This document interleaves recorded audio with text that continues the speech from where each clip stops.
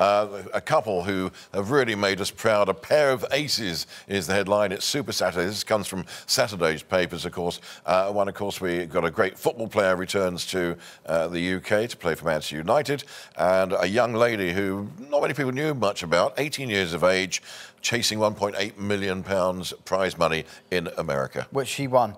Um, exactly. So, yeah, Emma Raducanu is going to be global star. It's obvious. Speaks Chinese. Uh, bit of a royalist. Very good with the media. Um, yeah, she's going to be, you know, one, winning one of the the big kind of tennis trophies as well. Going to be absolutely giant, ginormous. Um, a very wealthy young lady at a very young age. Yeah, but she's got her head screwed on. Uh, good ambassador for the UK, I have to oh, say gosh, as well. I mean, yes. she'll do yeah. much more than anyone, you know, Keir Starmer or Boris or Ed Davey could ever do. You know, um, so soft power.